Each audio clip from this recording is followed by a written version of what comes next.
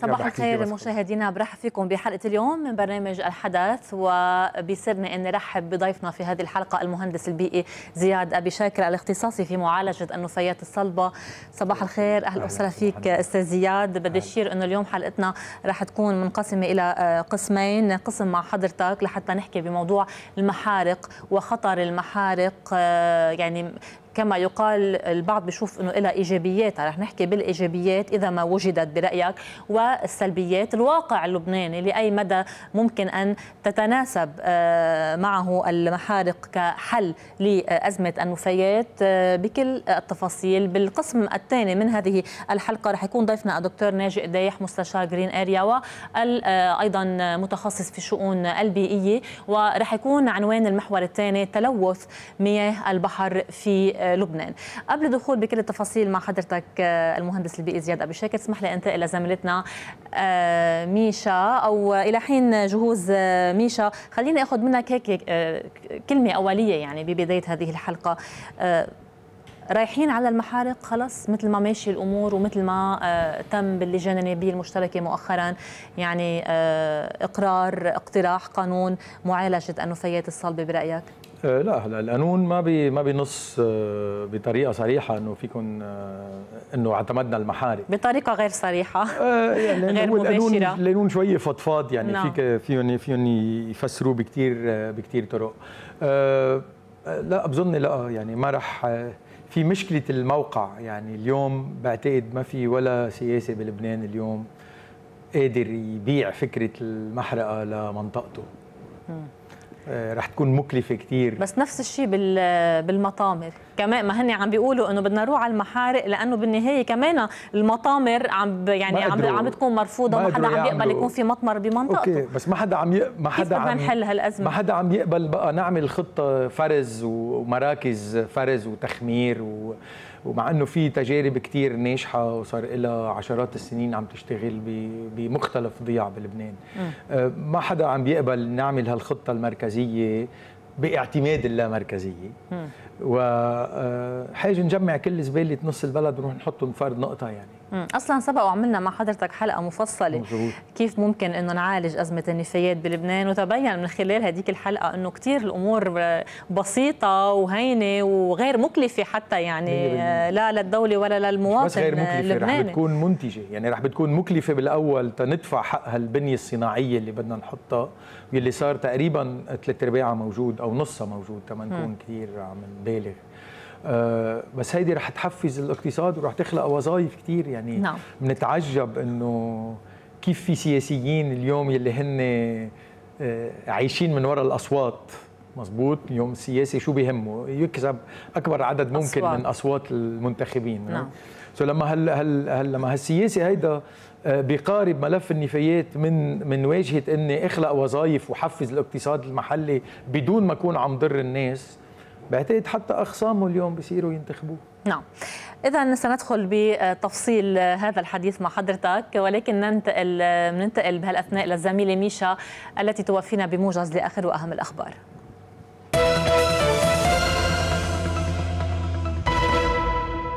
صباح الخير. أعلنت وزارة الصحة في غزة عن استشهاد شاب فلسطيني برصاص قوات الاحتلال وإصابة 220 منهم 90 تم علاجهم ميدانيا. وذلك خلال مشاركتهم في مسيرات العودة الكبرى وكسر الحصار على الحدود الشرقية لقطاع غزة. وقال الناطق باسم وزارة الصحة في غزة أشرف القدرة أن الشاب أحمد يحيى عطلة ياغي البالغ من العمر 25 عاما قد استشهد برصاص الاحتلال شرق مدينة غزة خلال مشاركته في جمعة الوفاء لشهداء القدس الشهيد محمد طارق يوسف. وشارك الألاف في المسيرات التي دعت إليها الهيئة الوطنية العليا لمسيرات العودة الكبرى وكسر الحصار للجمعة التاسعة عشرة على التوالي في مختلف المناطق الشرقية على حدود غزة. أعلن جيش الاحتلال الإسرائيلي عن اعتراضه سفينة ثانية لناشطين ضد الحصار قبالة سواحل غزة وفق ما ذكرت وكالة الصحافة الفرنسية.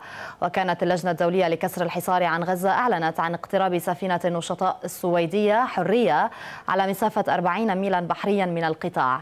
وحمل زاهر بيراوي رئيس اللجنة الدولية الإسرائيليين المسؤولية عن سلامة المتضامنين الدوليين على متن السفينة والتي تحمل اسم حرية وعلى متنها 12 ناشطا دوليا أغلبهم من السويد. وكانت بحرية الاحتلال أعلنت في وقت متأخر من الشهر الماضي عن اعتراض سفينة تحمل علم النرويج كانت تسعى إلى الوصول لقطاع غزة وكان على متن السفينة نشطاء يريدون إيصال مساعدات طبية إلى القطاع. طالب نائب المتحدث باسم الأمين العام للأمم المتحدة فرحان حق بضرورة التمييز الواضح بين مهمتي القوات الدولية لمراقبة فك الاشتباك في مرتفعات الجولان أندوف والشرطة العسكرية الروسية وأشار حق إلى أنه بموجب الاتفاق الموقع في العام 74 والبروتوكول فإن قوات الأندوف تتشكل من ممثلين عن الجهات الموقعة على الاتفاق وليست من الدول الدائمة العضوية في مجلس الأمن الدولي.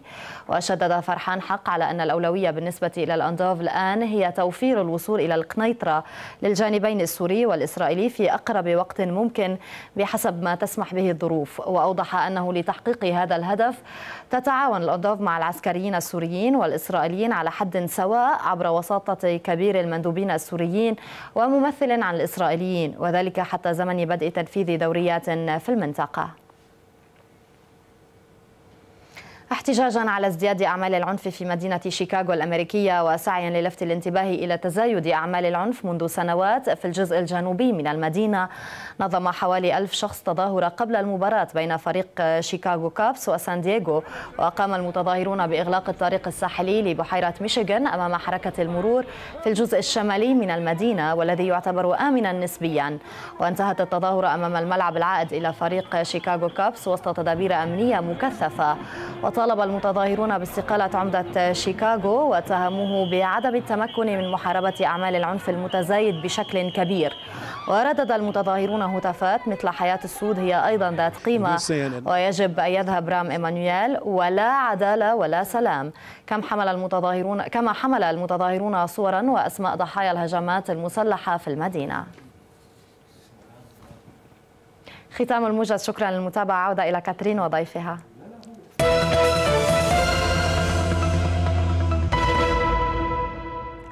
شكرا لميشا برحب فيكم من جديد مشاهدينا أرحب من جديد بضيفنا في هذه الحلقة المهندس البيئي والاختصاصي في معالجة النفايات الصلبة زياد ابي شكر أهلا وسهلا فيك من جديد أستاذ زياد. وبذكر إنه بهالمحور من الحلقة رح نحكي عن المحارق وبالمحور الآخر مع ضيفنا الدكتور ناجي قديح.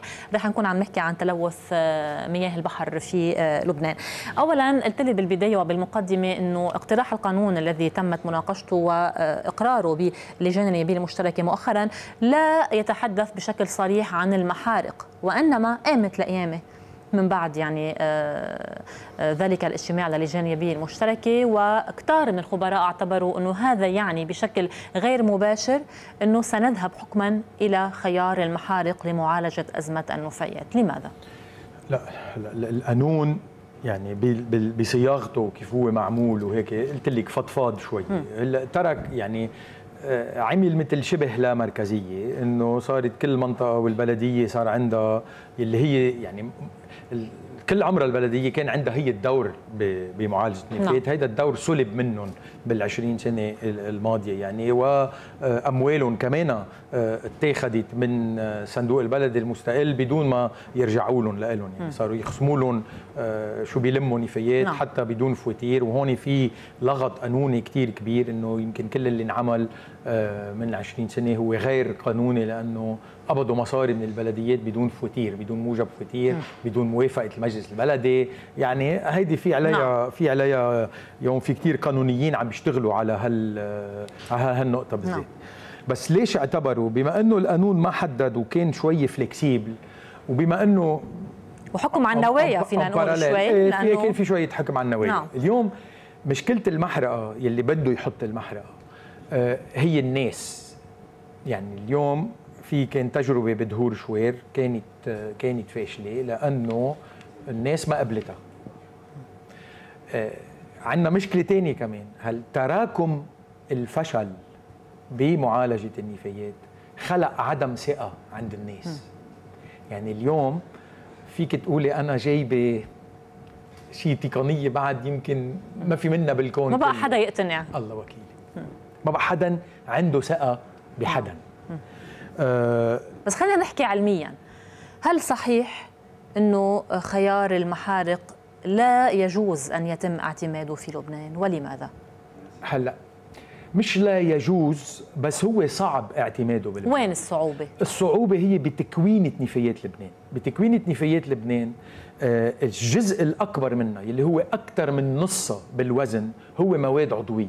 بتعرفي؟ نحن مجتمع شرقي آه متوسطي بنطبخ كل شيء من نعم من يعني أكل. يعني عندنا بقايا الزبالة اليومية اللي بتطلع من المطبخ. نعم. نعم. بقايا الأكل بتكوينها هي 80% من وزنها مي. يعني اليوم بتاخذي قشر البطيخ و... و... والبقدونس هيدي تبع البقدونس والبندورة ما هذه كلها مياه كلها مياه يعني. إذا بتنشفيها كلها سوا ما بيطلع. إذا بتاخذي كيلو بقايا بقايا أكل وبتنشفيه بالمرة بيضل لك تقريبا شي 250 جرام مواد صلبة. وعندك 750 جرام يعني 75% ل 80% من وزنه هو مي. نعم. فإذا لما بدي إجي ولعهم هول أنا ما بيولعوا. يعني هول بدي أحط لهم طاقة. المشكلة وين؟ الطرح الاستشاري الأجنبي اللي كان عم بي لأنه هن ببلادهم هيك بيعملوا كمان.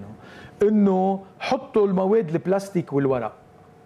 هيدي بس بتنحط بالمحرقة يعني. إنه بدل ما بدل ما تعملوا لهم recycling أنتم عفوا sorry بأوروبا ممنوع بالمحارق اللي هيدا ممنوع تحرق مواد قابله للتدوير. okay؟ يعني هن بيعتبروا إنه إذا في مصانع لمعالجة أنينة المي فإذا هيدي عم تخلق وظائف وعم تخلق حركة اقتصادية أنا ممنوع شيلها من دربهم هيدي طيب ما فهمنا منك سابقا إنه كله قابل بالنهاية لإعادة التدوير بشكل ما. أي أكيد. يعني شو بيبقى طيب نحط بالمحرقة؟ يعني إذا أه البلاستيك والإزاز وكل هالمواد والحديد أصلا الازاز. الحديد والإزاز كله فينا فينا نرجع طيب أيه. إذا يعني شو هي النفايات بال... يلي ممكن تكون آه يعني آه آه توضع بمحرقة لحتى تحرق عم أنا شخصيا يعني أنا من كل الأبحاث والشغل اللي لي تقريبا شي 27 سنة بعمله نحن وصلنا لمرحلة إنه إذا بتعطينا كميون نفايات منزلية نحن منا بحاجة لا لا نحرقه ولا لا من شو ما كان مؤلفه هالنفايات؟ نفايات منزلية. منزلية شو قصدك؟ فيها يعني يكون فيها بلاستيك وازاز أكيد و... أكيد إيه يعني زبالة المطبخ وزباله البيت يعني ما عم نحكي آه. نفايات طبية هون. نعم إنه نفايات المستشفيات والمعامل وال... نعم نعم. okay okay. فإذا وبعدين ليكي كاترين اليوم اعتمدوا المحارق بأوروبا من 50 سنة. يعني طلع عندهم مشكل قالوا كيف بدنا كيف بدنا نحله بأسرع طريقة ممكنة. ما كثير بيعلقوا مثل ما نحن بنعلق آه donc لجأوا إلى تقنية المحارق تقريبا شي 50 سنة عم عم يشتغلوا فيها. هلأ لما رحنا شفناهم مش من زمان وعم نتابع كثير بأي دول يعني تحديدا عم نحكي خلينا نحكي بالدول الأوروبية نعم. وحتى بأمريكا. كلهم بيعتمدوا محارق عندهم بأوروبا في كثير محارق م. بس يلي لها 50 سنة عم تشتغل. بس شو شو شو عم بيعملوا هلأ؟ هلا كلهم حطوا خطط يا خمسية يا عشرية إنه نحن آه، مثلا ألمانيا قالت نحن بسنة 2050 ما بقى رح منكب شيء. هلا رح بنحط الخطط تبعنا كلها. ممنوع بقى نحرق آه، مواد بلاستيكية قابلة للتدوير. آه، مفروض صناعاتنا تطور تقنيات جديدة لمعالجه أكياس النايلون والبلاستيك الأحادي الاستعمال.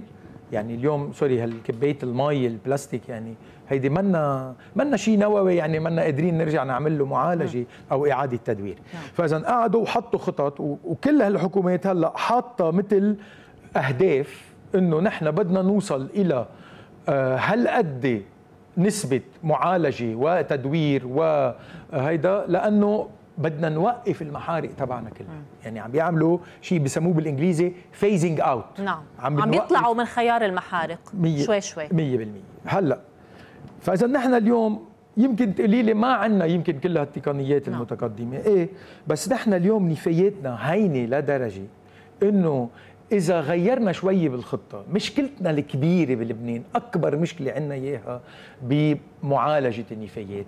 بنجمعها بكمايين ضاغطة. لما نحط هالزباله بالكاميون ونضغطها نصير نكبسها نكبسها. ليش؟ لأنه نحن معتمدين مطمر بعيد. يعني أنا اليوم بيطلعوا على فريا بلموا زبالة بده ينزلها على برج حمود.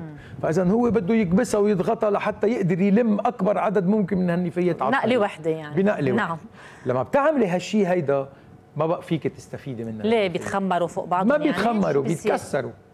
بيتكسروا. آه. الإزاز بيتكسر الإزاز التنك بيتطعوج. آه إذا عندك حدا كابب بشوي شيء بطارية cellulaire أو شيء وفقشت المواد المعادن الثقيله فيها بتنزل مع الأكل. نعم. إذا عملتيه كومبوست صار عندك كومبوست سيء النوعية. فاذا لما لما بنعتمد لا مركزية يلي هيدا القانون الجديد رح يسمح فيها. ماني بحاجة بقى لهالكمايين الضغطة لأنه صرت أقدر أعمل مراكز أنا قريبة من مراكز إنتاج هالنفايات هيدي. فاذا أنا اليوم بدل ما زق الزباله من فريا تقول على برج حمود صار فيني أعمل معمل يمكن بمنطقة وسط كسروان جيب الجرد وجيب قسم من الوسط بكمايين عادي. لما بتقول معمل يعني ولا مركزية يعني آه، بكل منطقة رح يكون في هيدا المعمل اللي عم تقول عنه ورح يكون في كمان مطمر أو لا؟ يعني بس عم نجرب نتجنب المطمر. عم نجرب نتجنب المطمر. شو يعني إنه نستفيد من كل النفايات؟ نستفيد عم بحكي حصرا المنزلية. يعني اليوم الخطة بتقول إنه نحن بلبنان 26 منطقة إدارية اللي هي 26 قضاء. م. كل قضاء هو مسؤول عن نفاياته. ممنوع قضاء ياخذ نفاياته يكبها عند قضاء ثاني إلا إذا هن بين بعضهم عملوا اتفاق واتفقوا على معمل واحد أو معينة واحد إيه. نعم. بس إنه اليوم نرجع على آه، منطق مطمر الناعمه بعتقد هيدي ما بقى حدا رح يقبل فيها نعم. وشفتي وقت الأزمة إنه ما حدا قبل إنه يكون هو ناعمه رقم اثنين نعم. يعني طلعوا على عكار وصلوا وبعكار نعم. ما قبلوا وقلت لي إنه الاقتراح القانون يلي تم إقراره بهذا الاتجاه لا مركزية سمح سمح سمح للبلديات ولا مم. اتحاد البلديات إن هي تقوم ب طيب هيدا شيء آه، جيد هيدا شيء جيد ليش قامت القيامة على قامت القيامة لأنه اعتبروا دغري اعتبروا دغري إنه بما إنكم عملتوا هيك صار اليوم كل مسؤول سياسي عن منطقة من منطقته أو أو هو عنده نفوذ بالمنطقة تبعه بده يعتبر الحل السحري اللي هو المحرقة واللي هون الناس وإنه في صفقات من وراها وما إلى ذلك. في صفقات ما في صفقات طيب خلينا نحكي عن بيروت تحديدا. يعني قد إيه عم بينحكى عن محرقة الكارنتين اللي بدها يتم إنشائها؟ شو خطورة هيدي المحرقة؟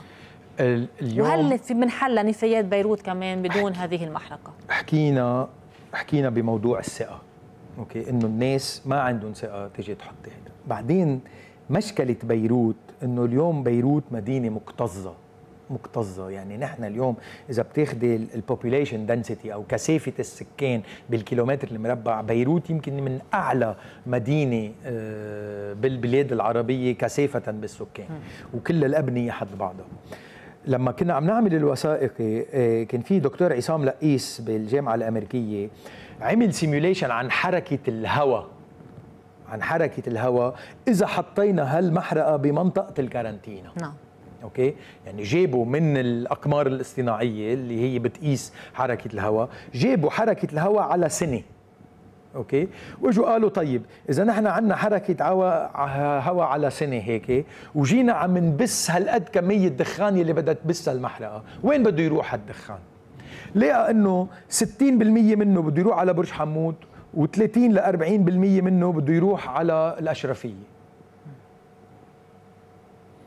طيب اليوم وهيدا يعني أكيد آه، فيه CO2 هو ملوث يا ريت فيه سي أو 2 سي أو 2 شو في بقلبه هيدا؟ شو في بقلبه هيدا الهواء اللي بده يطلع؟ لا بس نكون كمان واضحين. إيه لأنه هون عم يعني هواء سام هيدا.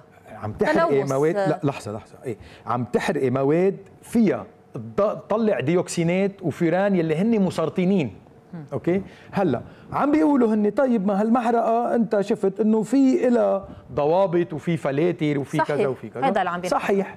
هلا اليوم هل عندنا الثقة إنه هالفلاتر رح تتغير دوريا؟ هالرماد السام رح يقبل حدا برا ياخده؟ لأنه ليكي مثلا لقينا بالدنمارك دنمارك قد لبنان على أربع مرات بالمساحة. ما قبل ولا سياسي دنماركي ولا نايب ولا يعني عن منطقة معينة. بالدنمارك في تقريبا شي 28 محرقة. كل ال 28 بيصدروا الرماد المتطاير تبعهم على جزيرة غير آهلة بالنرويج في هن نعم. according to the Basel Convention آه متفقين البلاد الأوروبية بين بعضهم أنهم يقدروا يبعثوا هالمواد الخطرة السامة. اليوم نحن منا متأكدين إنه لبنان رح يصدر هالرماد. مش رح يصدر. تنقول عندنا نية نصدر. أوكي؟ تنقول عندنا نية نصدر هالرماد. يا هل ترى هل مقبول لبنان إنه يعني هل رح يسمحوا لنا نصدرهم إيه أم لا؟ طيب وإذا ما صدرناهم شو ممكن ينطمروا يعني؟ إذا كارثه إذا ما صدرناهم كارثة. كارثة. مثلا بألمانيا آه أنا رحت على محرقة مدينة ميونخ. آه بميونخ عندهم آه، مناجم ملح قديمة يعني ما عادوا عم يستثمروها. آه بتنزل 700 متر تحت الأرض. بيجيبوا الرماد السام تبع المحرقة تبعهم. بحطوه ببراميل باطون بيسكروها. وما بيكتفوا إنه الباطون لأنه الباطون ما بي لأنه سمعت هون إنه بدهم يحطوهم ببراميل باطون نروح نحطهم ب parking شي محل بأرض للبلدية. الباطون منه fr: hermétique على فكرة. هول المواد فيهم فيهم يروحوا من من شو بيعملوا غير بتعرفي إنه الباطون بنش يعني كمان هيدي نعم. بطريقة كثير مبسطة. فإذا بألمانيا بحطوهم بهالبراميل الباطون وبينزلوا فيهم على المناجم 700 متر تحت الأرض. هل قد هل قد خطرين؟ عم بقول لك آه، في مسرطنين مش خطرين مسرطنين. آه، نحن جبنا عينة من الرماد المتطاير معنا من الدنمارك وبعثناها على مختبر البيئة بالجامعة الأمريكية. ما بيقدر يعمل ديوكسين لأنه منا البلد بعده كمان منا مجهزين نحن بمختبرات للديوكسين. إنما عملنا آه، تحليل على الملوثات العضوية يلي موجودة هونيك. لقيت إنه في بعض الملوثات اللي بيعملوا تغير جيني. بقلب ال... يعني إذا لا سمح الله مرا حبلى تنفست هالرماد السام. ال baby تبعها يمكن ال code génétique تبعه يتغير يتغير. كله. يعني تشوهات خلقية. 100% آه 100% نعم. فإذا طيب. فإذا ليش يعني ليش دائما عم نروح على الأصعب؟ بينما الأهين موجود تقنياته كلها موجودة. بتخلقي وظائف تقريبا ألف مرة زيادة عن وظائف المحرقة. ما بتلوثي وما بتضري العالم. ورح تقدري تخلقي وظائف وحركة اقتصادية.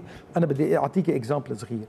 وقت بلشت مشكلة النفايات وهبت كل هالعالم بدها تفرز نفاياتها بينخلق مصنعين جديد لقناني المي شو بيعملوا فيهم؟ يعني إذا رح إذا أخذتي له قناني مي فاضية هذا المصنع شو بيعمل؟ بيفرمها. بيغسلها بينشفها وبكيسها بكياس كبيرة وبيشحنها على تركيا. هول الشباب هول معملين لأنه نحن بنتعامل معهم. نعم. معهم كونتراتات 1500 طن بالشهر. هالقد بيطلع بلاستيك؟ بد... لا لا هوليك الأتراك طلبوا منهم إنه إذا أنتم بتأمنوا لنا 1500 طن بلاستيك فرم بلاستيك قناني المي مغسل ومنشف نحن بنشتريهم منكم ب 600 دولار الطن. لشو بيحولون هن؟ هن بيرجعوا بيعملون آه، خيطان هي هيدي بوليستر أوكي؟ بيعملون خيطان أنين البلاستيك تتحول لخيطان خيطان بوليستر نعم. هي بلاستيك مم. sorry هيدي اللي أنت لابستيها واللي أنا لابسها فيها خيط بوليستر هيدا الخيط جاي من البلاستيك. هيدا البلاستيك كان قنينه هلأ صار ثياب ثياب نعم. الجماعة هول الاثنين عم بحكيكي هول بس معملين. بده 1500 طن من هالماده بالشهر. بتعرفي قديش قادرين يعطوه جماعتنا؟ مش عم يقدروا يوصلوا لل 45 طن بالشهر. وهو بده 1500 ليش؟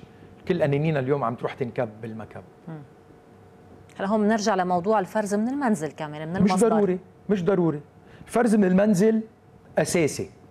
بس منه إنه إذا ما عملنا فرز بالمنزل ما بقى فينا نعالج وين بينفرز؟ بالمعامل بالمعامل. يعني؟ بس ليش فينا نفرزهم بالمعامل؟ لأنه نقلنا الزبالة بدون ما نضغطها. بس ما تضغطي الزبالة بتوصل بعدها بتوصل هي يبقى فرزها هين وأسرع يعني. أكيد يعني. وخصوصي كاترين إذا عاملة programme أنت إنه كل يوم تلمي الزبالة. يعني اليوم نحن عندنا ببيت مري كل يوم بلموا من التنين للسبت. كل يوم بلموا.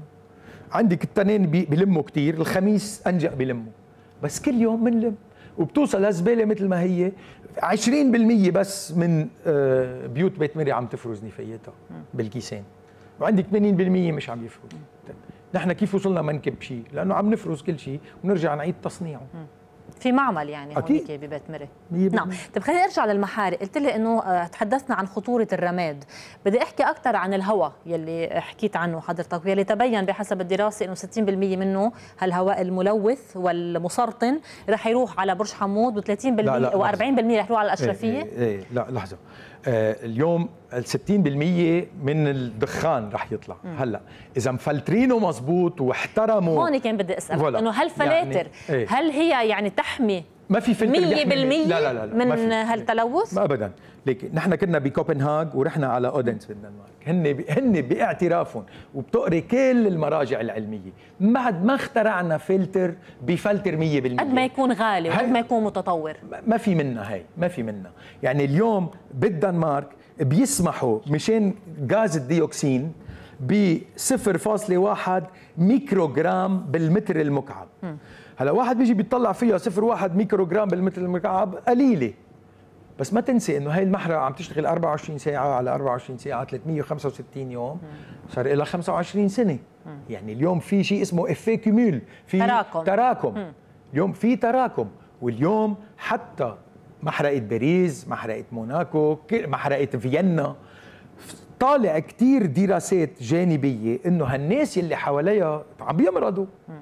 عم يمرضوا نعم. ما إنه طيب حضرتكم يعني كمان عم تتواصلوا مع مسؤولين رسميين بهذا الإطار شو عم بيقولوا لكم؟ شو ناويين مثلا يعملوا بموضوع الرماد؟ وين ناويين يكبوا الرماد تبع المحرقة؟ عم بيقولوا وين ناويين شو ناويين يعملوا بالفلاتر؟ عم بيقولوا عم بيقولوا بلدية بيروت يعني م. عم بيقولوا إنه نحن آه، رح نجبر المتعهد إنه يصدر.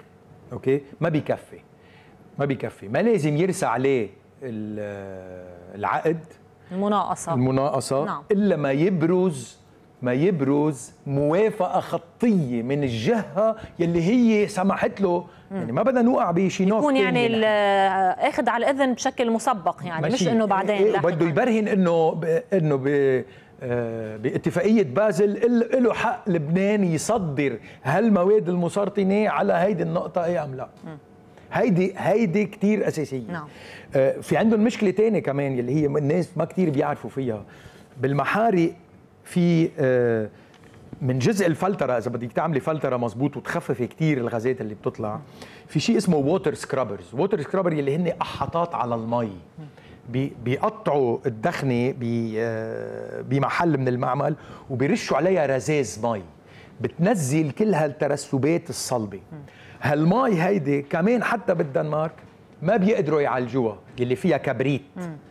شو بيط... بيعملوا فيها؟ بيضطروا يشحنوها مع الرماد المتطاير على النرويج عم نحكي عن دول عندها كمان إمكانيات مادية. يعني مش مش الحال مثل ما هو الوضع بلبنان حاليا يعني. بيدفعوا 142 يورو على طن الرماد المتطاير تيصدروه من الدنمارك على النرويج 142 يورو على الطن. ونفس يعني الشيء نحن اذا إذا ناويين يصدروا الرماد مثل ما عم يقولوا عنا صارت الكلفة كثير يعني كمان الكلفه هائلة على آه إيه عم نحكي أنا يعني متوقع ما يكون كلفة معالجة التون بالحرق بمحرقه بيروت تحت ال 160 دولار. بلا النقل عم بقول لك نعم.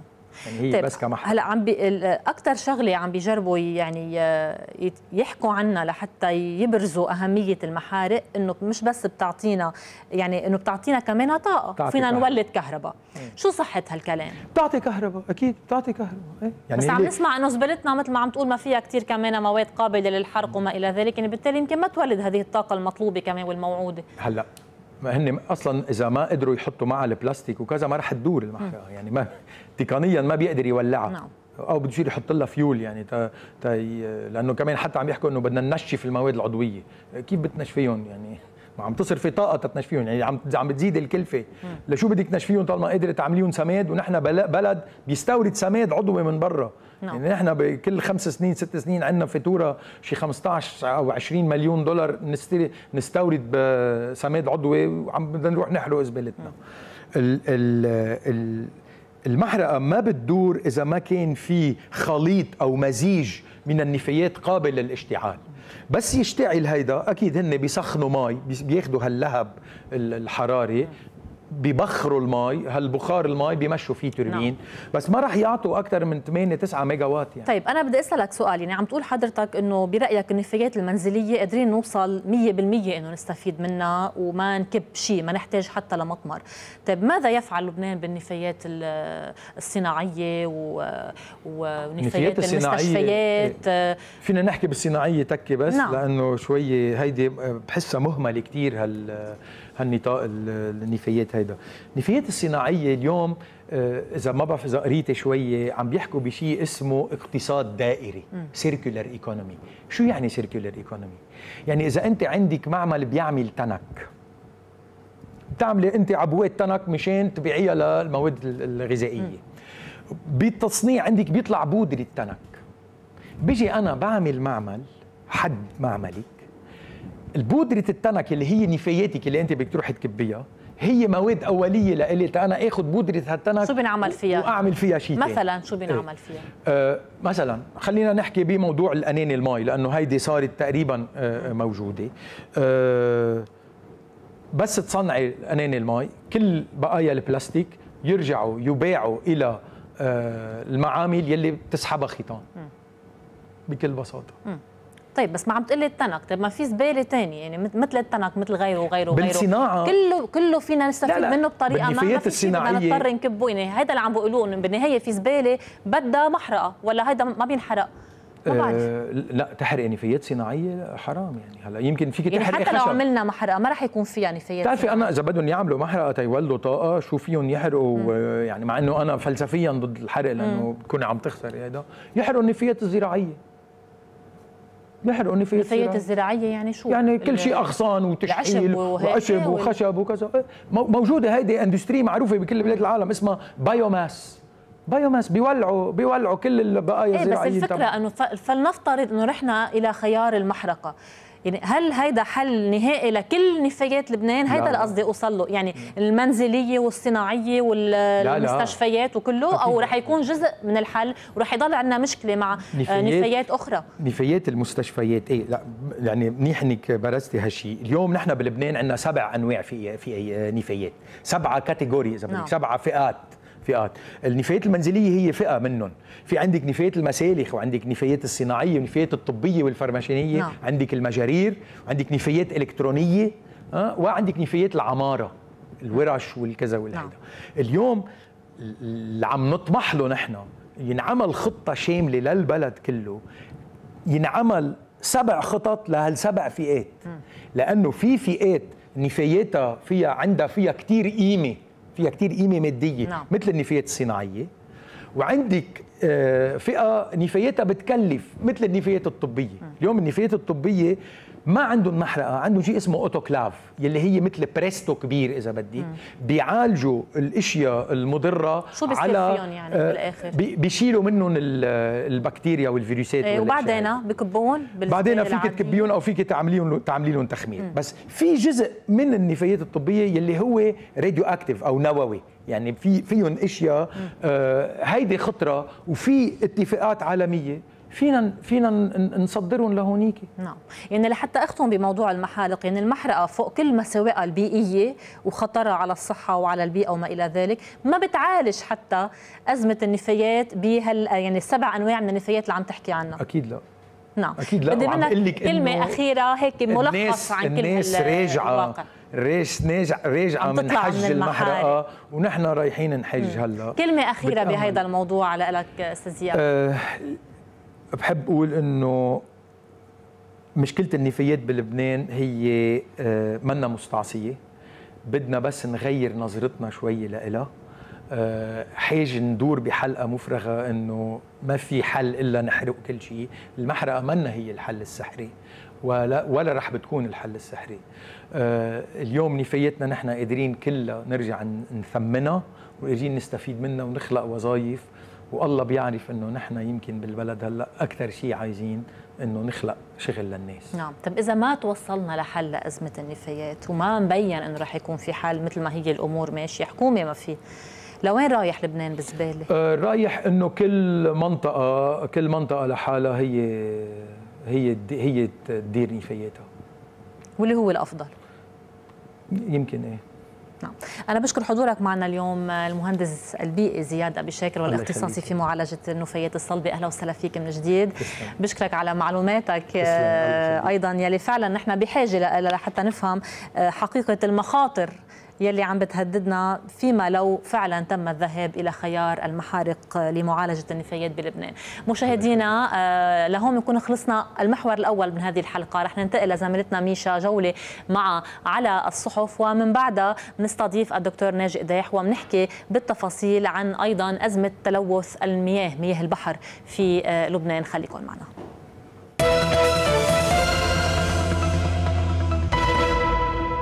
شكرا كاترين واهلا بكم من جديد. جولتنا سياسيه على صحف اليوم ونبدأها مع صحيفة الجمهورية. ماذا قال باسيل عن بري؟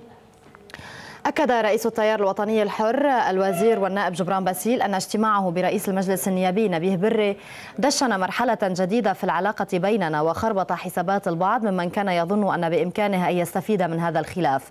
ويضيف ستكون هناك بعد الآن فرص للتعاون المشترك في مساحات واسعة على مستوى مجلس النواب والحكومة المقبلة. ويمكن القول أننا كأكبر تكتل نيابي وبري كرئيس لمجلس النواب ولكتلة وازنة سنشكل معا ما يشبه الدينامو في السلطتين التشريعية والتنفيذية. ويتابع لا يعني ذلك أننا متفقون على كل شيء إذ لكل منا خصوصيته. لكن المهم أن أي تميز أو تباين يجب أن يبقى محكوما بقاعدة تنظيم الخلاف تحت سقف الاحترام المتبادل.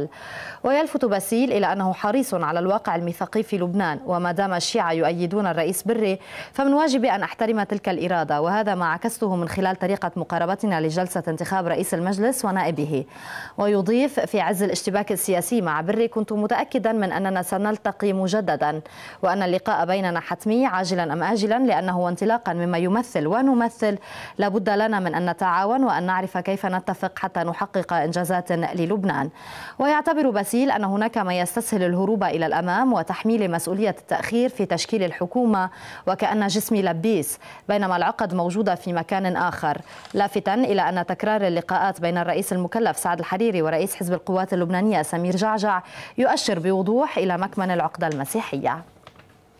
ومن صحيفة الجمهورية أنتقل إلى صحيفة الأخبار عواصم عربية تحرض الحريري ضد عون ذكرت مصادر دبلوماسية عبر صحيفة الأخبار أن مشكلات تأليف الحكومة تنوعت بين صراع خفي على الصلاحيات وصراع على حصة القوات الوزارية. مشيرة إلى أن الرئيس المكلف سعد الحريري صارح رئيس الجمهورية بأنه لا يمكنه السير في حكومة لا تلبي طلبات القوات اللبنانية. وأن الحريري سمع جوابا مفاده أنه يجب أن يتحمل مسؤوليته وأن يبادر إلى طرح تشكيلة ويعرضها على المجلس النيابي لنيل الثقة. ولفتت المصادر إلى أن الرئيس عون شدد أمام الحريري على عدم إمكانية ربط حاجات ومصالح البلاد بمطلب قوة سياسية معينة. وأنه لا يمكن للبلاد الانتظار وقتا طويلا. كما علمت الأخبار أن شكوى رئيس الحكومة المكلف من محاولات النيل من صلاحياته في عملية تشكيل الحكومة لاقت صدى في أوساط سياسية تنتمي إلى الطائفة السنية وهي التي قررت تجاوز ملاحظاتها على أداء الحريري وتحركت للتضامن معه تحت عنوان حماية صلاحيات وموقع رئاسة الحكومة ورفض العودة إلى ما قبل اتفاق الطائف. كاشفة أنه من ثم تبين أن هذه المجموعة تلقت طلبات من السعودية والإمارات ومصر بالوقوف إلى جانب الحريري قبل أن يتوجه سفراء الدول الثلاث إلى أبلاغ الأخير مباشرة أنهم سيقفون إلى جانبه لمنع إدخال أي تعديل على اتفاق الطائف مع تشديد سعودي إماراتي على عدم السير في حكومة لا تتمثل فيها القوات اللبنانية بحسب ما تريد أو أن يجري العمل على محاصرة النائب وليد جنبلاط من خلال خروقات في التمثيل الدرزي. وأعود إلى الجمهورية حيث إسرائيل تلوح بحرب ضد حزب الله. في وقت يستعد حزب الله لإحياء عيد الانتصار في الرابع عشر من آب في مهرجان كبير يتحدث فيه الأمين العام للحزب السيد حسن نصر الله رفعت إسرائيل من وتيرة تصعيدها ضد الحزب وتهديداتها بشن حرب عليه. واللافت تعمد المستويات السياسية والعسكرية الإسرائيلية إبراز الخطر الذي يشكله الحزب على إسرائيل بالتوازي مع الترويج لسيناريوهات حربية. وكشفت الصحافة الإسرائيلية خطة لتسليح الجيش الإسرائيلي هي الأكبر في تاريخه والمهمة الأساس فيها حماية الجبهة الداخلية من الهجمات الصاروخية سواء من قطاع غزة أو من الشمال وصواريخ حزب الله. وتوقف المراقبون عند الذي ذكرته القناة الإسرائيلية الثانية في الساعات الماضية من أن حزب الله كشف عن سلاحه الجديد والممثل في طائرة من دون طيار والتي شاركت في الحرب الأهلية في سوريا. وبحسب المعلق العسكري للقناة فإن حزب الله نظم معرضا لأحدث أسلحته. من بينها صواريخ كتف ضد الطائرات من نوع SA 7 و SA 14 ومركبات كما تم عرض طائرات غير مأهولة. عفوا. واستعراض أدوات ومعدات عسكرية جديدة ساعدت الحزب في تحقيق أهدافه في المعارك الأهلية في سوريا. ويأتي ما ذكرته القناة على مسافة أيام قليلة مما كشفته صحيفة هآرتس من أن الجيش الإسرائيلي وضع سيناريوهات عدة متوقعة في حال اندلاع معركة شاملة مع إيران ودخول حزب الله على خط النار في جنوب لبنان. وتم عرض هذه السيناريوهات على المجلس الوزاري الأمني المصغر مع أبعادها على الجبهة الداخلية حيث قام ضباط من الجيش الإسرائيلي بعرض حسابات الأضرار المحتملة بالتفصيل. وذلك في حال اندلاع حرب قصيرة مع حزب الله تمتد لعشرة أيام أو متوسطة تمتد لثلاثة أسابيع أو طويلة تزيد عن شهر. ختام الجولة على الصحف. فاصل نتابع بعده الحدث مع كاترين وضيفها.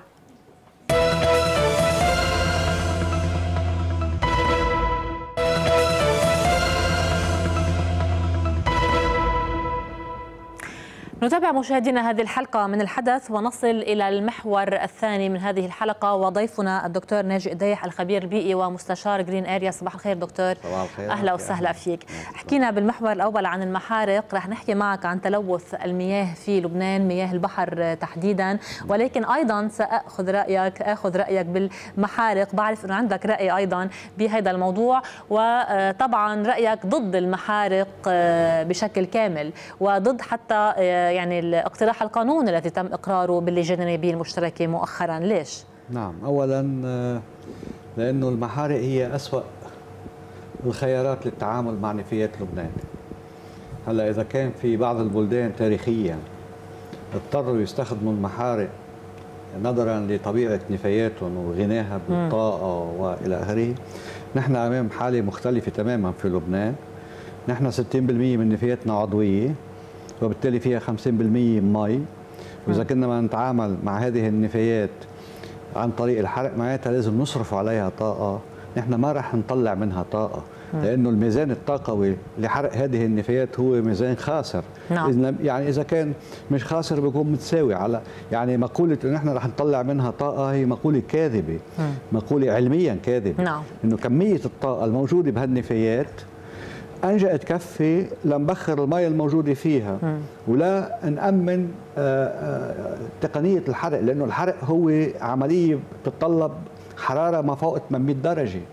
لحتى نقدر نأمن هالحرارة 800 درجة بدنا طاقة. بدنا طاقة كثير كبيرة تكون بتحتويها النفايات وإلا بدنا نضطر نزيد لها فيول لنقدر نحرقها. هو مزيد مزيد من التلوث يعني بالهواء وبالرماد وأنا باكد بأكد نعم. لكل المستويات.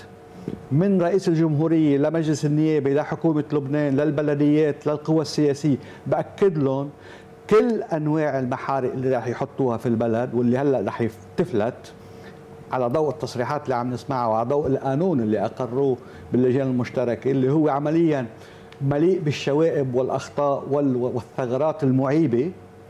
آه، ولكن الإيجابية الوحيدة للقوى السلطة في هذا المشروع هي أن أعلن الضوء الأخضر لإطلاق المحارق كل أنواع المحارق بما فيها المحارق البدائية في كل مناطق لبنان وهذه الكارثة. بس هي اعطت حرية للبلديات بهذا الإطار. هل البلديات ستتجه برأيك إلى المحارق أيضا باستثناء بلدية بيروت هي يعني؟ مجالس القوى السياسية. القوى السياسية كلها اليوم عم تصرح بأنه خلاصها بالمحارق هالقناعة اللي زرعوها عند سماسرة المحارق في البلد أنا ما بتهمهم بأنه هن والله خبراء. هن مش خبراء. هاو السياسيين اللي عم يحكوا يجهلون ما يقولون. ولكن سماسرة المحارق أوهموهم وأقنعوهم بأنه التفكك الحراري اللي هو محارق. ليه عم تهربوا من استخدام كلمة محرقة لتقولوا تفكك حراري. قولوا محرقة لحتى الناس تفهم عليكم شو عم تحكوا. أنتوا عم تضلوا للناس لما تقولوا تفكك حراري. وأوهموكم السماسرة بأنه التفكك الحراري هو تقنية سحرية بتريحنا من كل مشاكل النفايات بدون ما تلوث بدون ما تعملنا مشاكل. وهذا غير صحيح. هذا كلام إجرامي لأنه كلام آه كاذب كلام لا يتفق مع العلم. نحن آه، عندنا تشكيلة من النفايات قادرين نستعيد آه، قيمة آه، ما يزيد عن 35 40% من هذه النفايات. وعندنا 50 ل 55 60% مواد عضوية قادرين نطلع منها كومبوست عن طريق التفكك الهوائي وقادرين نطلع منها بيو غاز كمان اللي بيقدر يعطينا طاقة نظيفة اللي هو عن طريق التفكك اللاهوائي لوين رايحين للحرق؟ نعم. الحرق هو اليوم عنوان لصفقة جديدة في التعاطي مع ملف النفايات تضاف م. إلى الصفقات اللي صار مستمرة من سنة 1990 حتى اليوم من مطامر ومن مطامر على البحر ومكبات والى آخره والمحارق جاي تكمل هذا النهج السياسي اللي يبغي من هذا التوجه آه، حلب المال العام. وداير ظهره للبيئة وحماية البيئة ومصالح الناس نعم. الصحية نعم خلينا ندخل بموضوع مياه البحر نعم. يعني نحن هلأ صار قاطع تقريبا شهرين من موسم الصيف والناس صار لها أكثر حتى من شهرين عم تنزل على المسابح وكتار عم ينزلوا على البحر كمان رغم أنه طلعت كتير تقارير وبعضها متضارب ومتباين وما عادوا صدقوا الناس حدا ولا عادوا يعرفوا مين لازم يصدقوا برأيك ومن خلال متابعتك كل هالتقارير اللي صدرت وكل هالكلام اللي عم ينحكى عن تلوث مياه البحر في لبنان هل فعلا فينا نقول أنه البحر بلبنان ملوث؟ بغض النظر عن الموقع كل بحر لبنان ملوث؟ شوفي أنا بدي أعيد طرح المسألة إلى آه، يعني قيامها الصحيح. أعيد طرح المسألة وفق المنطق السليم.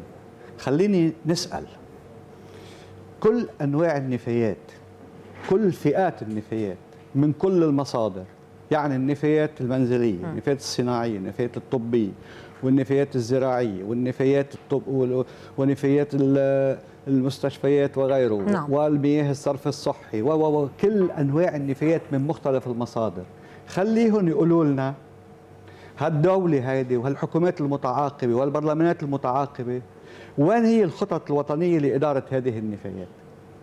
خليه يقول لنا مجلس المال والإعمار اللي أنا راجعت تقريره اللي أصدره بتشرين 2017 حول الصرف الصحي.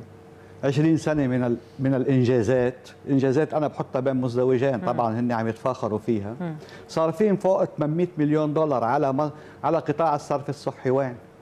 عم ينكب البحر. شبكات بدون محطات ومحطات غير غير شغالة. والمحطات أو الشبكات اللي محطوط لها كولكتور يعني آه، أنبوب جامع وين عم يصب؟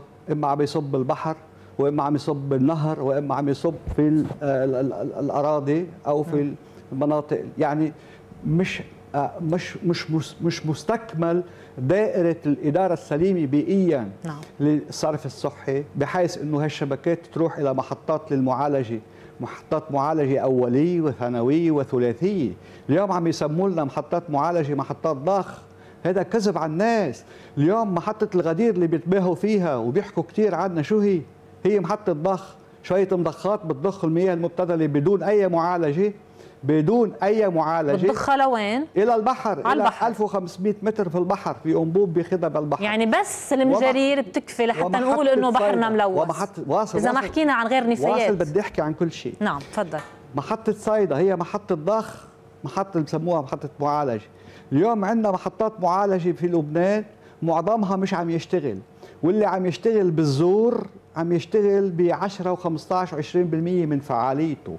نحن قدام قدام هدر آه، نموذجي للمال العام في قطاع الصرف الصحي. اليوم خليني أسأل أنا في في عله في عله بالفهم في عله بالفلسفة في عله في التخطيط. اليوم نحن العقل السليم بيقول نعمل آه، صرف صحي معالجة للصرف الصحي لتحقيق هدفين أساسيين. أو واحد منهم إذا ما كانوا اثنيناتهم سوا. إما لتخفيف التلوث البيئي باعتبار مياه الصرف الصحي مياه المبتذلة هي مياه عالية المستويات من التلوث الجرثومي والكيميائي والعضوي وغيره ولا يجوز رميها بدون معالجة في أوساط البيئة من بحر وظهر وتربة وينابيع والى آخره. الهدف الأول هو تخفيف التلوث الهدف الثاني هو إعادة استعمال المياه المعالجة يعني إدارة وترشيد استخدام الموارد المائية. طيب نحن شو عم يعني؟ بغير دول بيرجعوا عم بيحولوها لمي شرب بالدول ولا لا؟ طبعا في بعض الدول. طبعا طبعا طبعا بتصير صالحة يعني تتفق مع مواصفات مياه الشرب. هلأ في العامل النفسي آه، عائق إيه مش مهم. واحد ما بي بس, بس روحوا لاستخدامها خلينا نعالجها اوليا وثانويا على الأقل لنقدر لما نرميها بالنهر ما نحدث هذا التلويث الخطير اللي حاصل في نهر الليطاني. اليوم نحن أمام كارثة وطنية في نهر الليطاني أمام كارثة وطنية حقيقية يجري التعامل معها بخفة وبنفس العقلية لاستثمار الملفات الساخنة لهدر الأموال وصرفها في غير موقعها. نعم. وصرفها في غير مجال يعني بالخلاصة وبالعودة للسؤال الأساسي. نعم. مياه بحر لبنان ملوثة كلها. خليني فكك الموضوع. نعم. فكك الموضوع. اليوم نحن نفايات الصرف الصحي تبعنا. أنا بتذكر بسنة ال 97 بإحدى المراجعات لإحدى آه، الخرائط اللي وضعها مجلس المال والإعمار نفسه. بيقول إنه في عندنا 23 مصب للنفايات لمياه الصرف الصحي في بحر في بحر لبنان يعني في الشاطئ اللبناني من العريضة حتى الناقورة. 23 مصب. اليوم قد إيه عددهم؟ كمان بمعلومات صادرة عن مجلس الماء والإعمار في 2017 يعني يمكن يكونوا زادوا هلأ ل 2018 قد إيه صاروا؟ 57 مصب يعني تضاعف عدة مرات عدد المصبات بالتأكيد ضاعفت كميات المياه المبتذلة يعني عشرات ملايين الكيلو الأمتار المكعبة عم ترمى في البحر ونحن بحرنا قد إيه؟ قد إيه كبره يعني إحنا كل شاطئنا 220 كيلو متر. يعني لما كل ما زاد عدد المصبات كل ما صار كثافة الصب تلوث تلوث أعلى يعني صاروا قراب لبعضهم كثير فصار مجال التشتت ومجال تخفيف التراكيز للمواد الكيميائية والعضوية والبكتيريا. ها صار مجال أضيق يعني صار عم يفوتوا ببعض. نحن بنعرف إنه التلوث يعني ما فينا نقول هذه البقعة من البحر مثلا آه، غير ملوثة وفي بقعة قريبة عليها ملوثة. لا يجوز هذا الكلام؟ كلمة غير ملوثة عيب على حدا يقولها. عيب. و و و ومهما كان المصدر والمرجع العلمي. كلمة غير ملوثة مش مقبولة. ليه؟ لأنه نحن بنقدر نميز بين مستوى أعلى ومستوى متوسط ومستوى يعني أدنى ولكن كلها ملوثة بمستويات مختلفة. بالتالي كلها غير صالحة للسباحة؟ لا هيدا موضوع تاني. آه. غير صالحة للسباحة بصير بدنا نفتش على المواصفات المياه الصالحة للسباحة.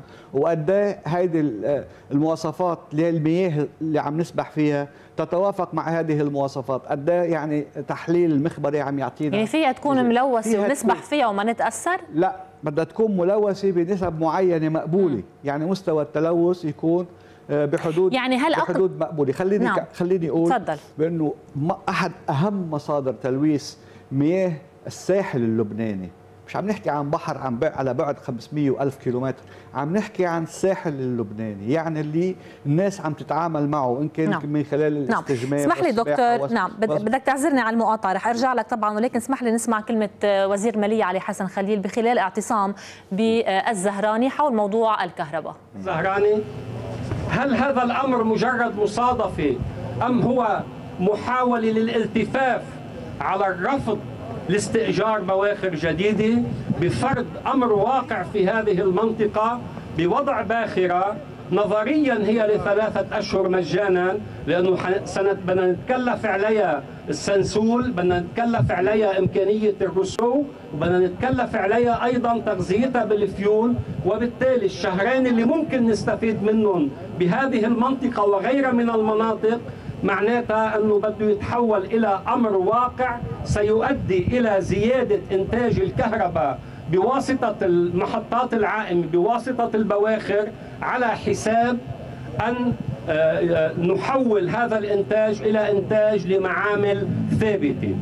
ليس مسموحا بعد الآن أن نستمر بهذه السياسة وأمامنا شواهد في دول عديدة مثل مصر اللي أنتجت 14400 ميجا وات بظرف سنتين بظرف سنتين بكلفة 650 ميجا وات ل 650 ألف دولار للميجا وات الواحد.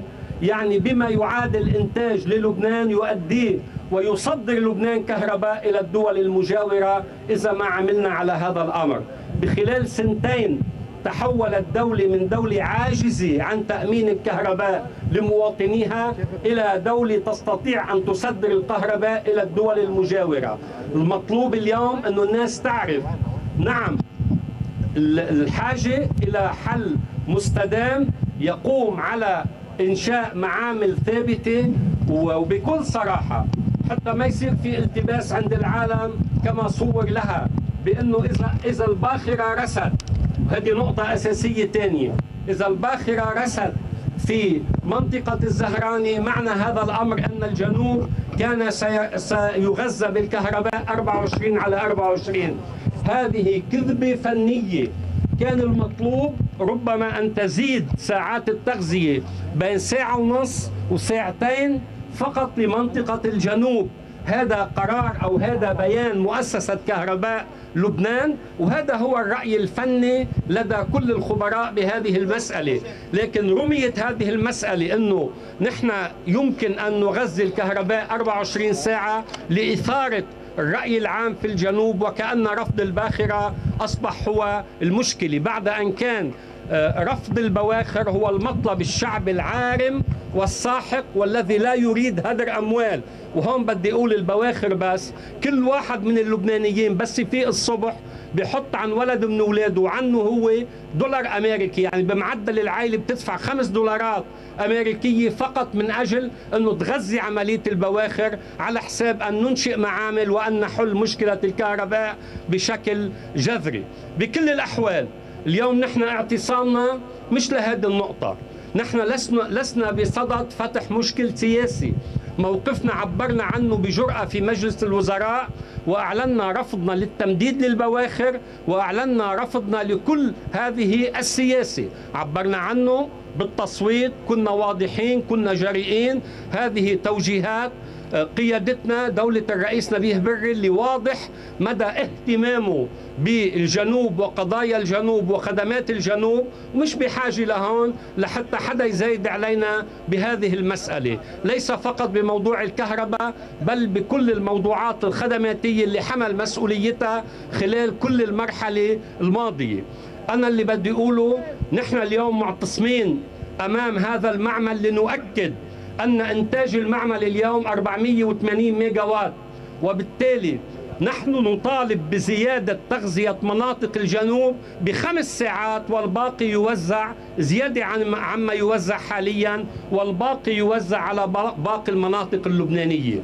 إذا كانت الباخرة بدها تعطينا ساعتين أو ثلاثة زيادة نحن بنقول إنه ما بدنا نستفيد من طاقة بتتحول لنا من برا. خلينا نزيد الطاقة اللي كانت ممكن آه، تأمنها هذه الباخرة. نزيد التغذية لمناطق الجنوب ولا لا لا لا, لا يحول كميات إضافية على حساب هذا المعمل.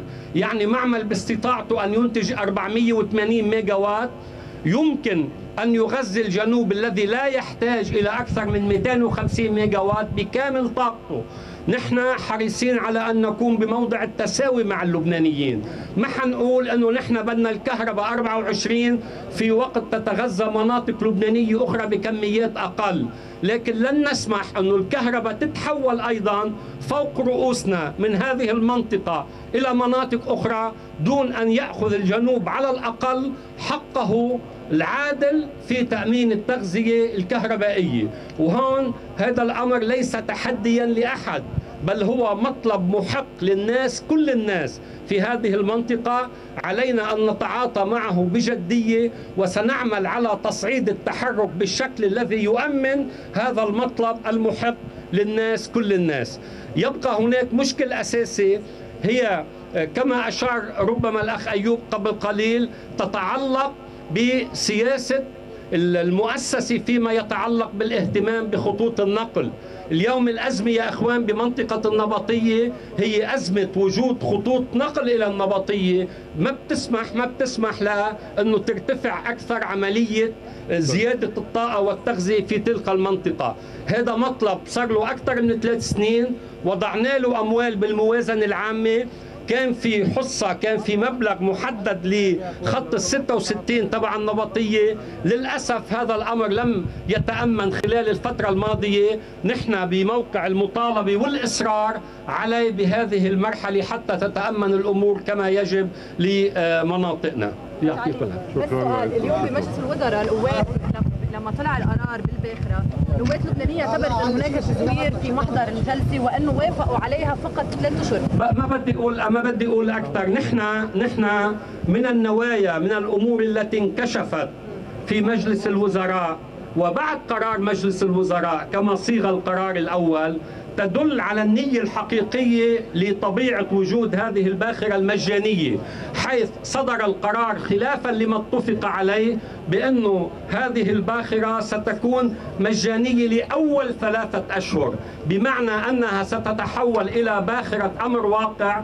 تبقى كما بقي الذي من قبلها خمس سنوات زائد ثلاث سنوات تمديد يعني ثمان سنوات بكلفة تعادل 1550 مليون دولار سنويا. يعني نحن عم نحكي عن حوالي أكثر من 10 مليار دولار أمريكي بس فقط كلفة البواخر خلال الفترة اللي تم استئجارها كان عندكم علم إنه بدها تبقى ولا صار في لغط بكلمة أول ووسط نحن طالبنا بالتصحيح لكن آه، إحالة مؤسسة كهرباء لبنان إحالة مؤسسة كهرباء لبنان لتأمين الأموال لتغطية كلفة هذه الباخرة وغيرها من البواخر تؤشر إلى أنها باخرة ستبقى إلى آه، فترة أبعد بكثير من آه، بقاء لشهرين أو ثلاثة فقط آه، لمرحلة مؤقتة. وأنا بدي أقول هون بدي أرجع أذكر أنه هذه الباخرة اللي موجودة هلأ هي نفس الباخرة بالاسم اللي وضعت عند العرض الأول لاستئجار البواخر الإضافية بلبنان. يلا يعطيكم الألف عافية. إذا مشاهدينا بعد ما تابعنا تصريح وزير المال علي حسن خليل في خلال اعتصام لحركة أمل أمام معمل الزهراني مطالبة بحل مستدام وببناء معامل لتوليد الطاقة بدل آه، اللجوء إلى البواخر. عندك شيء تعليق سريعا على هذا الموضوع؟ كلمتين بس. تفضل. الحقيقة أنا ما بشوف بأنه من الذكاء عند السلطة السياسية بكل قواها أنه تفوت المناطق ببعضها وتفوت الناس ضد بعضها بموضوع تتحمل هي وحدها مسؤولية إيصال اللبنانيين بال 2018 لأنه ما يكون في عندهم كهرباء 24 على 24 كل هذه القوى السياسية اللي عم تحكي اليوم طيب ما كلكم ما كلكم كنتوا ومرقتوا على وزارة الكهرباء والمياه الموارد المائيه والكهربائية وعلى وزارة الطاقة. وزرائكم آه، تعاقبوا على هذه الوزارة. طيب ليه تركتوا البلد بدون معامل إنتاج. أنا من حيث المبدأ مع إنشاء معامل إنتاج نعم. تغطي حاجة لبنان من الطاقة الكهربائية. لبنان كله على بعضه بيطلع نص حي من أحياء القاهرة. وأنا بتابع موضوع الكهرباء بالقاهرة وبمصر وبعرف إنه آه، جماعة حاطين استراتيجيات وخطط طويلة المدى لتغطية حاجاتهم لبعد 25 سنة. نحن شو؟ وهودي بلد فيها 100 مليون وعندها 100 أزمة اقتصادية وعندها عندها ضغوط ديموغرافية واقتصادية فظيعة. نعم. طيب نحن شو؟ شو المبرر اللي بعدين اللبنانيين لليوم بدون كهرباء؟ شو المبرر؟ على كل حال هيدي القوى السياسية كلها ذاته هو بموضوع النفايات كمان يعني. كلهم لازم يخجلوا لما يحكوا بهالموضوع لازم يستحوا على حالهم لأنه هن كانوا في موقع القرار في السلطة. وقادرين كانوا يبنوا معامل نحن بدنا معامل. نحن بدنا معامل. هيدي البواخر منا حلول وهيدي نعم. مزاريب لهدر المال العام. نعم خلينا نرجع لما المشاكل والأزمات اللي بيعيش فيها لبنان. نعم رح نرجع نتابع معك. يعني كنا بلشنا بتلوث البحر وقلت لي عن أبرز سبب للتلوث نعم. اللي هو مياه الصرف الصحي. اسمح لي توقف بس مع فاصل إعلاني. من بعده رح نكمل ببقية آه يعني العوامل يلي بتلوث مية البحر. وبدنا نحكي كمان عن الثروة. البحرية يعني هالسمك نعم. اللي عم ناكله كمان طبعاً طبعاً. شو ممكن يكون كيف ممكن يكون متأثر بنسبة التلوث المرتفعة بمياه البحر تخريب تخريب المنظومة البيئية البحرية نتيجة هذا التلوث نعم. اللي عم يحصل فاصل ومنتابع خليكم معنا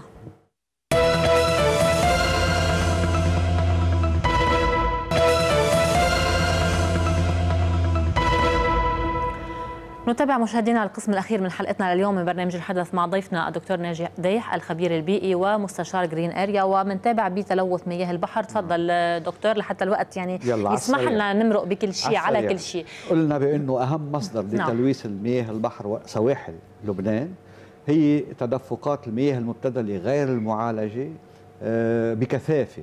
تقريبا كل السفوح الغربية لسلسلة لبنان الغربيه إضافة للمدن الساحلية واللي هي مدن كبرى يعني حوالي 85% من سكان لبنان في هذه المنطقة اللي عم وصفها. نعم.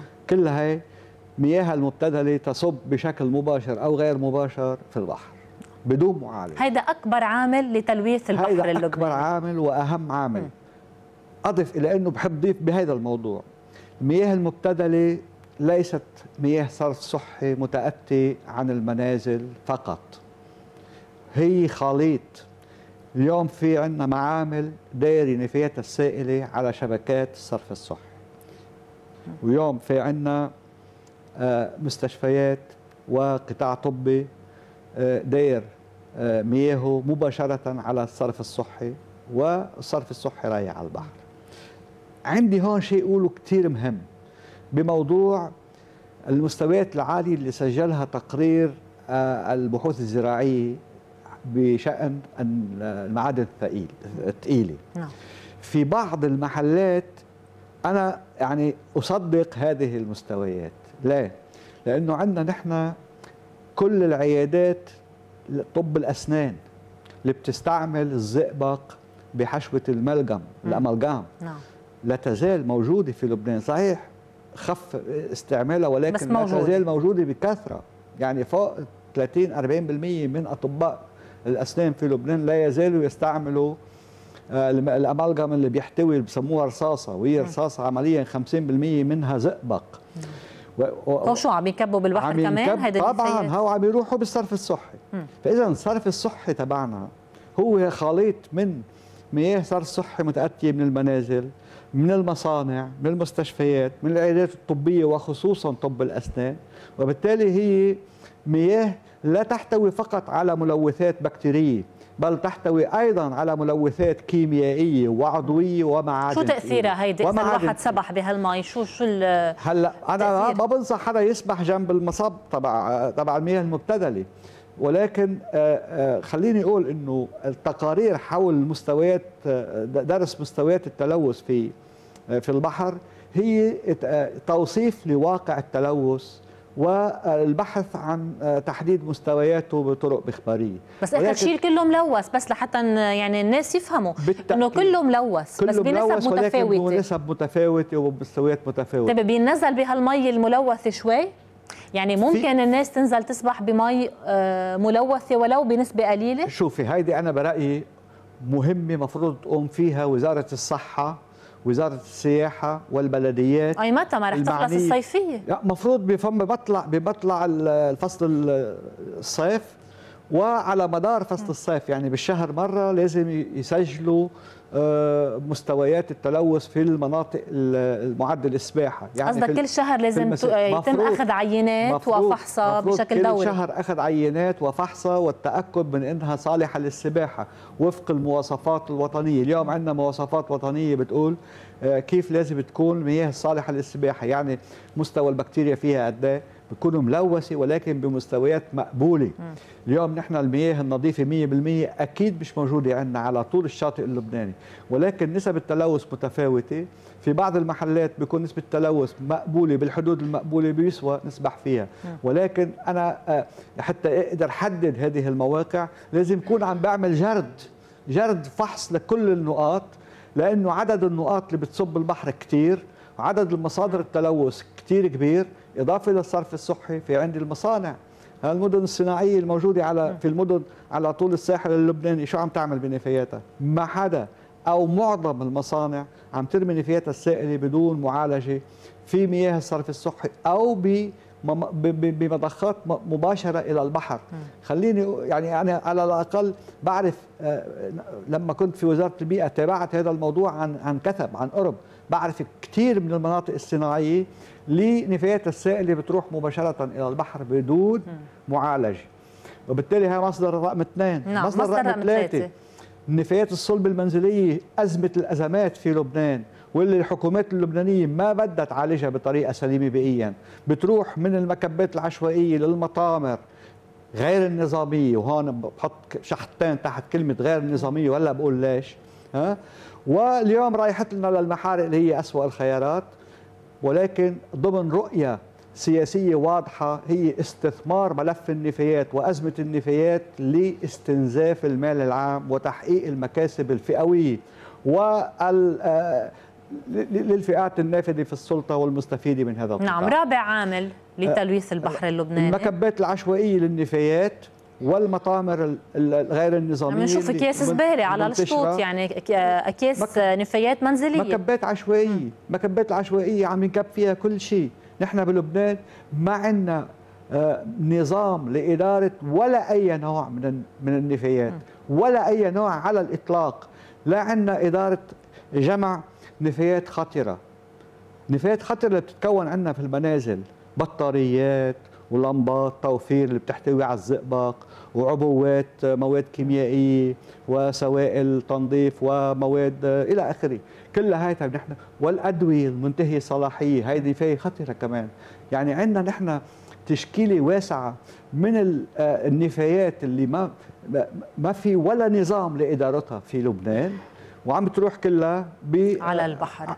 على نعم. بعد في شيء عامل اضافي أكثر من هون بزيادة هول أصلا. نفايات إلكترونية اللي بتحتوي على معادن ثقيله سامة وخطيرة على البيئة وعلى الصحة البشرية. هودي شو يعني ادوات كهربائية وما إلى ذلك يعني أو السلوليرات والبطاريات نعم. والايباد واللابتوب يعني كل هاللايحه هيدي من الأجهزة الإلكترونية والكهربائية. طيب مين عم يعمل لها نظام إدارة هاي؟ ما حدا. يا عم دولتنا نايمة وغايب الوعي عن إدارة النفايات في كل أنواعها وفي كل أشكالها على الأقل لما هلأ عم يشتغلوا على على قانون على الأقل عملوا تصنيف للنفايات في مختلف الفئات لنحط لكل فئة خطة وطنية للإدارة. نبدأ من من نظام لجمعها المنفصل وصولا إلى معالجتها بطرق مختلفة بحسب الفئة يلي حسب حسب طبيعتها نعم. وحسب خصائصها وحسب مخاطرها نعم. خلينا نحكي عن الثروة عن. الثروة البحرية نعم اليوم هي هذا الكلام مخيف هو واقع عم نسمعه بالتقارير ولكن مخيف جدا يعني يمكن ما بقى نسترجي ناكل سمك لازم إذا كان هذا الكلام تسمعه السلطات السياسية اللي عم تتعاقب على حكم البلد م. اللي ما أخذت ولا أي مبادرة اليوم لتوضع خطة وسياسة لإدارة أي من هذه الأنواع للنفايات وبالتالي كلها عم تروح للبحر أو عم تروح للنهر نعم. شو تأثير هذا التلوث على هذا التشكيلة من الملوثات عندنا ملوثات بدرجة ومستويات عالية جدا ملوثات جرثومية بكتيرية وغير بكتيرية نعم. وطفيليات وغيره أضف إلى أنه مواد عضوية يعني عم تعمل إتريفيكاسيون يعني عم تعمل آه آه تعفين للمياه وعم يطلع على الالغ الأخضر هيدا هالنباتات نعم. هيدي هيدي مؤشر على التلوث العضوي هيدي ما ننبسط فيها كثير هيدي مؤشر. بس نشوف هيدا العشب على وجه المي مية البحر. على الصخور وعلى وجه المي. هيدا آه، نمو الالج يعني الطحالب آه، ناتج عن ارتفاع مستويات التلوث العضوي بالنترات وغيره في البحر. نعم. أضف إلى التلوث الكيميائي وهو الأخطر. اليوم خليني أقول أنا في عندنا مجموعة عدد من الموانئ والمرافق الكبيرة والمتوسطة والصغيرة تبع المارينات والصيادين والموانئ الكبيرة بطرابلس وبيروت وصيدا وصور ها؟ طيب هذه تلوث بالزيوت تلوث بالمواد المعدنية والمواد النفطية مشتقات نفطية. نعم. وبالتالي هذا تلوث كثير خطير. نعم. اليوم خليني أسأل هذه تذكرتها هلأ ها؟ نحن شو عم نعمل بالزيوت المنتهية الصلاحية؟ الزيوت الزيوت المستعملة تبع السيارات شو عم نعمل نحن عندنا مليون سيارة وما يزيد في لبنان. شو عم نعمل فيها؟ ما فيش إلها إدارة. عم تنكب بطرق مش معروفة شو هي. ما في أي يا بالأرض يعني أو أو بالأرض أو مش عارف وين أو عم تنحرق بطريقة غير مضبوطة وغير صحيحة وغير سليمة وما بعرف. نعم. مش هذا السؤال شو عم يعملوا فيها. السؤال يا دولة أنت يا حكومة يا وزارات معنية. وين هي خطتكم لإدارة هذا النوع؟ من النفايات الخطيرة نعم. على البيئة وبالتالي على الصحة نعم. العامة. طيب دكتور ثمار البحر يعني بالنهاية اللي عم تسبح بهالمية نعم. المجموعية هلأ خليني أقول كل ما ارتفعت بتعود نسبة ممكن المعادن الثقيلة المعادن شوفي في مجموعة من المواد الكيميائية من معادن ثقيلة ومواد بنسميها بيرزيستانت يعني مواد عندها ثبوت ثبات وعندها آه، يعني قدرة على الاستمرار وعندها قدرة على التراكم الحيوي. يعني لما تتعرض لها الأسماك تتراكم في في في في في العضل تاعها في الجسم تاعها في الأنسجة تاعها. نعم. وبالتالي نحن لما نستهلك هذه الأنسجة بنكون عم نتعرض لهذه المستويات عم تنتقل لنا من السموم الكيميائية والمعدنية ها؟ كما حصل في في كثير من بلدان العالم حصل حالات تسمم راح فيها ضحايا بالمئات والألوف. نتيجة التلوث بالزئبق وغير الزئبق. هلأ نحن الحمد لله بعد المستويات بتلوث المعادن الثقيله لا تزال محصورة في نقاط محددة يعني مش هالقد أصلا يمكن. يكون مفعولة على المدى الطويل. كمان على المدى يعني الطويل. يمكن يطلع هلأ ناس يقولوا عم ناكل سمك وما عم ننضر ولا عم بيصير لنا شيء وإنما يمكن عملية تراكمية يعني أضف مع مع أضف إلى إنه السنين اليوم المكبات العشوائية اللي عم تصير على الشاطئ والمطامر غير النظامية هي أيضا وعمليات الردم البحر عم تؤدي إلى تخريب الشاطئ وعم تخريب موائل تربية الأسماك الأسماك إلى إلى إلى دورة حياة. نحن عم نيجي نخرب لها بيوتها عم نخرب لها نظام حياتها وتكاثرها. وبالتالي نحن عم ندمر الثروة السمكية في شاطئنا وعم ندمر التنوع البيولوجي في بحرنا وعم نلوث آه، هذا الوسط والمنظومة البحرية اللي بتعيش فيها وتتكاثر فيها الأسماك والثمار البحر الأخرى. وعم نعرضها لنوعين من المشاكل. إما عم نلوث لها الوسط تاعها نهربها فعم تروح وندمر لها الموائل تاعها وعم تهجر عم تروح لغير محلات. وإما عم تراكم الملوثات بأنسجتها وبالتالي نحن لما عم نتصيدها ونحطها على المائدة تبعنا عم نتعرض لهذه السموم نعم كلمة أخيرة. دكتور هيك ب... الكلمة الأخيرة يعني إنه اليوم باختصار خلاصة هذا الحوار. كثرة التوصيف مش هي بتحل المشكل.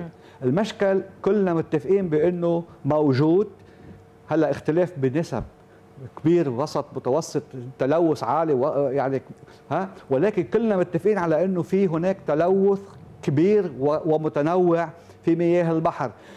معالجة تلوث مياه البحر ومياه الأنهار وال- والبيئة في لبنان تتطلب وضع سياسات على مستوى الحكومة وعلى مستوى الدولة وخطط مدروسة واستراتيجية عقلانية.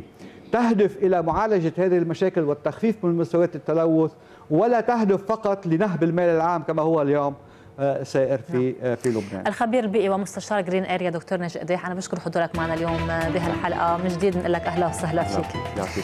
بشكر متابعتكم أيضا مشاهدينا هذه الحلقة وإلى اللقاء في الغد.